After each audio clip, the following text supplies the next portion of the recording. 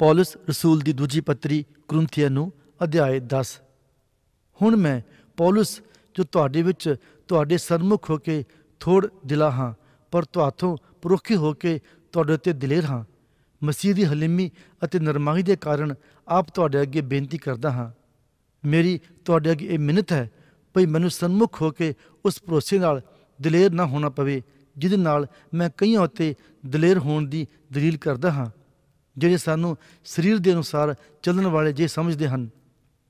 ਅਸੀਂ ਭਾਵੇਂ ਸਰੀਰ ਦੇ ਵਿੱਚ ਚੱਲਦੇ ਹਾਂ, ਪਰ ਸਰੀਰ ਦੇ ਅਨੁਸਾਰ ਯੁੱਧ ਨਹੀਂ ਕਰਦੇ। ਇਸ ਲਈ ਜੋ ਸਾਡੇ ਯੁੱਧ ਦੇ ਸ਼ਸਤਰ ਸਰੀਰਕ ਨਹੀਂ, ਸਗੋਂ ਪਰਮੇਸ਼ਰ ਦੇ ਪਾਣੇ ਕਿਲਿਆਂ ਦੇ ਢਾ ਦੇਣ ਲਈ ਡਾਢੇ ਤਕੜੇ ਹਨ। ਸੋ ਅਸੀਂ ਵਹਿਮਾਂ ਨੂੰ ਅਤੇ ਹਰ ਇੱਕ ਉੱਚੀ ਗੱਲ ਨੂੰ ਜਿਹੜੀ ਪਰਮੇਸ਼ਰ ਦੇ ਗਿਆਨ ਦੇ ਵਿਰੁੱਧ ਸਿਰ ਚੁੱਕਦੀ ਹੈ ਢਾ ਦਿੰਦੇ ਹਾਂ ਅਤੇ ਹਰ ਇੱਕ ਖਿਆਲ ਨੂੰ ਬੰਧਨ ਵਿੱਚ ਲਿਆਉਂਦੇ ਹਾਂ, ਭਈ ਉਹ ਮਸੀਹ ਦਾ ਆਗਿਆਕਾਰ ਹੋਵੇ। ਅਤੇ ਜਾਂ ਤੁਹਾਡੀ ਆਗਿਆਕਾਰੀ ਪੂਰੀ ਹੋਵੇ ਤਾਂ ਅਸੀਂ ਹਰ ਤਰ੍ਹਾਂ ਦੀ ਅਨਾਗਿਆਕਾਰੀ ਦਾ ਵਟਾ ਲੈਣ ਨੂੰ ਤਿਆਰ ਹਾਂ। ਤੁਸੀਂ ਉਹਨਾਂ ਗੱਲਾਂ ਵੱਲ ਜੋ ਤੁਹਾਡੇ ਸਨਮੁਖ ਹਨ ਵੇਖਦੇ ਹੋ। ਜੇ ਕਿਸੇ ਨੂੰ ਇਹ ਭਰੋਸਾ ਹੋਵੇ ਜੋ ਆਪ ਮਸੀਹ ਦਾ ਹੈ, ਤਾਂ ਉਹ ਫਿਰ ਆਪਣੇ ਆਪ ਵਿੱਚ ਸੋਚੇ ਭਈ ਜਿਵੇਂ ਉਹ ਮਸੀਹ ਦਾ ਹੈ, ਤਿਵੇਂ ਅਸੀਂ ਵੀ ਹਾਂ। ਭਾਵੇਂ ਆਪਣੇ ਉਸ ਅਖਤਿਆਰ ਦੇ ਵਿਖੇ ਜਿਹੜਾ ਪ੍ਰਭੂ ਨੇ ਸਾਨੂੰ ਤੁਹਾਡੇ ਢਾਉਣ ਲਈ ਨਹੀਂ, ਸਗੋਂ ਤੁਹਾਡੇ ਬਣਾਉਣ ਲਈ ਦਿੱਤਾ ਕੁਝ ਵੱਧ ਕੇ ਅਪਮਾਨ ਕਰਾਂ ਤਾਂ ਵੀ ਮੈਂ ਲਜਿਆਵਾਨ ਨਹੀਂ ਹੋਵਾਂਗਾ। ਭਈ ਮੈਂ ਇਉਂ ਮਾਲੂਮ ਨਾ ਹੋਵਾਂ ਜਿਵੇਂ ਤੁਹਾਨੂੰ ਪੱਤਰੀਆਂ ਨਾਲ ਡਰਾਉਣ ਵਾਲਾ ਹਾਂ।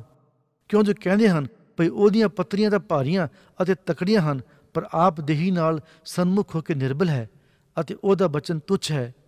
ਅਜਿਹਾ ਕਹਿਣ ਵਾਲਾ ਇਹ ਸਮਝ ਰੱਖੇ, ਭਈ ਜੋ ਜੇ ਪਰੋਖੀ ਹੋ ਕੇ ਅਸੀਂ ਪੱਤਰੀਆਂ ਦੁਆਰਾ ਬਚਨ ਵਿੱਚ ਹਾਂ, ਉਹ ਜੇ ਸਨਮੁਖ ਹੋ ਕੇ ਕੰਮ ਵਿੱਚ ਵੀ ਹਾਂ, ਕਿਉਂਕਿ ਸਾਡਾ ਇਹ ਹਿਆਉ ਨਹੀਂ ਪੈਂਦਾ।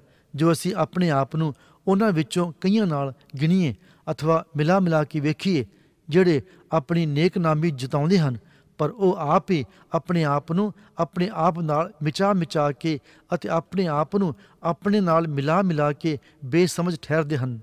ਪਰ ਅਸੀਂ ਮੇਚੋਂ ਬਾਹਰ ਨਹੀਂ, ਸਗੋਂ ਉਸ ਮੇਚੇ ਦੇ ਅੰਦਾਜ਼ੇ ਦੇ ਅਨੁਸਾਰ ਅਪਮਾਨ ਕਰਾਂਗੇ, ਜੋ ਪਰਮੇਸ਼ਰ ਨੇ ਸਾਨੂੰ ਵੰਡ ਦਿੱਤਾ ਹੈ। ਉਹ ਮੇਚਾ ਤੁਹਾਡੇ ਤੱਕ ਵੀ ਪਹੁੰਚਦਾ ਹੈ। ਅਸੀਂ ਆਪਣੇ ਆਪ ਨੂੰ ਹੱਦੋਂ ਬਾਹਰ ਨਹੀਂ ਵਧਾਉਂਦੇ ਹਾਂ। ਕੋਈ ਜਾਣੀਦਾ ਸਾਡੀ ਪਹੁੰਚ ਤੁਸਾਂ ਤੱਕ ਨਾ ਹੁੰਦੀ। ਇਸ ਲਈ ਜੋ ਅਸੀਂ ਤਾਂ ਮਸੀਹ ਦੀ ਖੁਸ਼ਖਬਰੀ ਸੁਣਾਉਂਦੇ ਹੋਏ ਤੁਸਾਂ ਤੋੜੀ ਅੱਗੇ ਤਰਿਆਪੜ ਪਏ। ਅਸੀਂ ਮੇਚੋਂ ਬਾਹਰ ਹੋ ਕੇ ਹੋਰਨਾਂ ਦੀਆਂ ਮਿਹਨਤਾਂ ਉੱਤੇ ਅਪਮਾਨ ਨਹੀਂ ਕਰਦੇ ਹਾਂ। ਪਰ ਸਾਨੂੰ ਆਸ ਹੈ, ਭਈ ਜਿਉਂ-ਜਿਉਂ ਤੁਹਾਡੀ ਨੇਚਾ ਵੱਧਦੀ ਜਾਵੇ, ਤਿਉਂ-ਤਿਉਂ ਤੁਸੀਂ ਆਪਣੇ ਹਲਕੇ ਦੇ ਵਿੱਚ ਵਧਾਏ ਜਾਵੋਗੇ। ਭਈ ਅਸੀਂ ਤੁਹਾਡੇ ਪਰੇਡੇ ਦੇਸਾਂ ਵਿੱਚ ਖੁਸ਼ਖਬਰੀ ਸੁਣਾਈਏ ਅਤੇ ਹੋਰਨਾਂ ਦੀਆਂ ਹਲਕਿਆਂ ਵਿੱਚ ਉਹਨਾਂ ਗੱਲਾਂ ਉੱਤੇ ਜੋ ਸਾਡੇ ਲਈ ਤਿਆਰ ਕੀਤੀਆਂ ਹੋਈਆਂ ਹਨ, ਅਪਮਾਨ ਨਾ ਕਰੀਏ। ਪਰ ਜੇ ਕੋਈ ਅਪਮਾਨ ਕਰਦਾ ਹੈ, ਸੋ ਪ੍ਰਭੂ ਵਿੱਚ ਅਪਮਾਨ ਕਰੇ। ਕਿਉਂਕਿ ਜੋ ਆਪਣੀ ਨੇਕਨਾਮੀ ਉੱਤੇ ਜਤਾਉਂਦਾ ਹੈ, ਸੋ ਨਹੀਂ, ਸਗੋਂ ਉਹ ਪਰਵਾਨ ਹੁੰਦਾ ਹੈ, ਜਿਹਦੀ ਪ੍ਰਭੂ ਨੇਕਨਾਮੀ ਕਰਦਾ ਹੈ।